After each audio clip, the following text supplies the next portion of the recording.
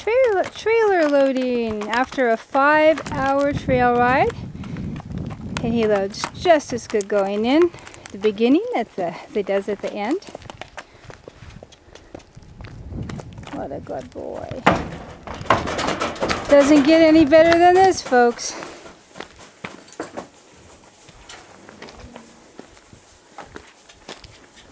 Nice, calm, safe trail horse. Anybody can ride this guy. All right.